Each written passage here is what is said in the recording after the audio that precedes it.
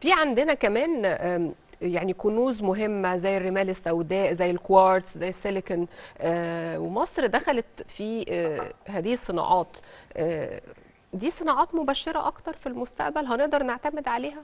على سبيل المثال حضرتك ذكرت السيليكون. والرمال البيضاء. الرمال البيضاء إحنا عندنا ثروات تتخطى ال 2.5 مليار طن من الرمال البيضاء. إيه أهمية الرمال البيضاء؟ بنصنع منها النهارده الشرائح الشرائح الإلكترونية.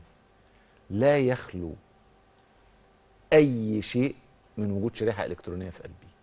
تليفون موبايل فيه شريحة إلكترونية. تلفزيون فيه شريحة إلكترونية. ثلاجه فيها شريحة إلكترونية. صحيح. العربية فيها آه. شريحة إلكترونية.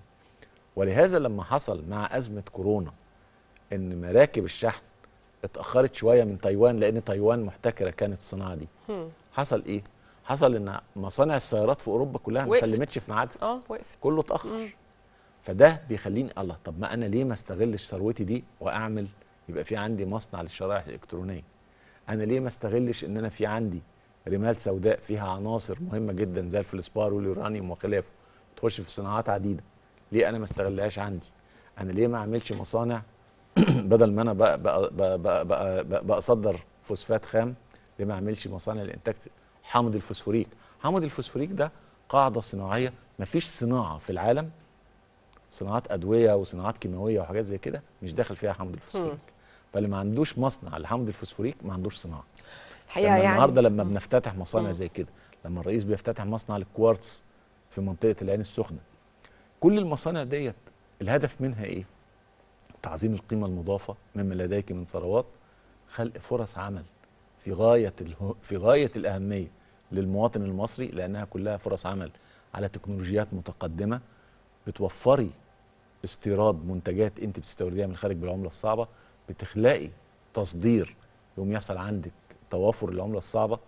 كل الأمور اللي هي ضغط علينا في آخر ثلاث سنين. هيبقى في نتيجة؟ طبعا هيبقى في نتيجة. إحنا النهارده بنعاني من الغلاء. ماشي؟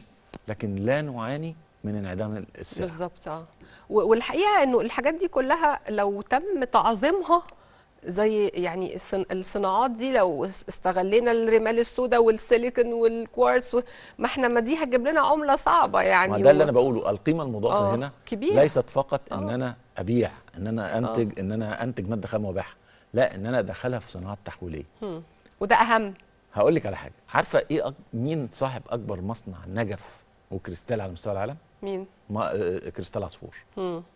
نمرة واحد على مستوى العالم. ويصدر لجميع دول العالم ف والحقيقة لا في ثقة كبيرة فيه يعني جداً. في دول كتير في الخليج جداً. لما بتروح بتشوف آه،.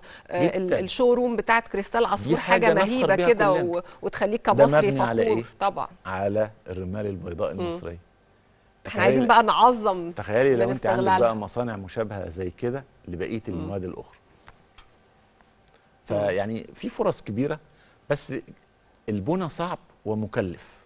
مم. كنت بشاهد خطاب للرئيس عبد الناصر سنة 62 أو 63 فبيتكلم فيه على إنه إحنا الخيارات قدامنا صعبة. هل نعمل مصانع ولا نستورد لحمة؟ آه. لأن اللحمة غليت. شوفي القصة دي سنة 63 من الستينات آه. فقال أنا اخترت إن إحنا نبني مصانع وممكن نخف مثلا أكل اللحمة بدل ما هو سبعة أيام في الأسبوع نخليه أربع أيام في. الأسبوع فهنا لابد يحصل فيه يعني شيء من ال- الاستيعاب لأهمية كل الحاجات اللي بتتعمل لأن هي كلها منظومات هترجع علينا بعض. هترجع علينا إحنا منظومات كمواطنين. تخيلي لو أنت ما عندكيش منظومة ال- ال- المباني السكنية اللي إحنا قاعدين شغالين فيها بقى لنا تسع سنين 8 مليون عامل مصري كانوا هيروحوا فين؟ مشكلة. في ظل إيه؟ في ظل توتر الأوضاع في العراق، في ظل توتر الأوضاع في سوريا، في ظل توتر الأعداء الأوضاع في ليبيا اللي هي كانت مناطق تمركز هذه العماله. ايدي عاملة مصرية. طيب ال 8 9 مليون دول كنت هتعمل فيهم إيه؟ كنا مشكلة. كنا هنلاقي كنا هنلاقيهم بيشتغلوا إيه؟ البطالة بقى ممكن تودي لارهاب إرهاب. ومخدرات وخطف وسرقة وكل حاجة. فأنت بتفتحي يعني مشروعات الإسكان ديت فيها 103 مهنة بتشتغل. شرحه لما بتيجي تشتغلي في مشروعات بترول في أي مكان كل المهن شغالة معاكي اما بتشتغلي في مشروعات أبراج ال- الاتصالات لما. بتشتغلي في مشروعات بتاعة توسعة حضرتك فتحت لنا ال- المواني. آه ملفات مهمة لو كتيرة جدا. لو اشتغلنا بدون كلل ولا ملل زي ما. قال الرئيس النهارده في الملفات دي بعد كام سنة إحنا هنبقى في حتة تانية لو تسمحي لي أقول حاجة كده برضو سريعا لأنه الوقت انتهى في ليا حد قريبي كان بيقول لي إن هو جه من العاشر راح لمكتبة مصر العامة اللي في الجيزة. فبقول له يا ده مشوار جامد جدا ولقيت حتة تركن فيها قال لي والله يا ابيه أنا نزلت ركبت القطار السريع. من الشروق لغاية محطة عدلي منصور وبعدين نزلت ركبت المترو لغاية هناك والمشوار خد ساعة وتذكرتين آه، قطر ومترو ب 20 جنيه يا بلاش لا أنا بقيت سعيد جدا آه. إن المشروع ده بقى له مردود بهذا المنظر واحد من المواطنين اهو مبسوط سهل منه. حياتنا مبسوط منه آه.